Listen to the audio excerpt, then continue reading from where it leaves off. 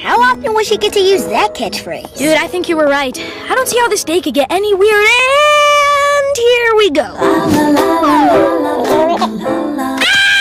What the? Dude, this is all messed up! I know, right? I mean, future me wearing sandals? I mean, you're gonna steal carry from me! It's supposed to be car win, not car ball! You home wrecking woman eater! And it looks like I didn't stop at women.